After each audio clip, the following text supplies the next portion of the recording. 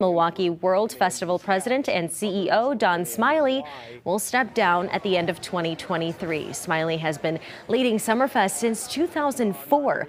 The festival board selected longtime executive Sarah Pancheri as Smiley's successor. Earlier this year, Summerfest entertainment director Bob Babisch announced that he will retire after more than 46 years. Summerfest starts on June 23rd.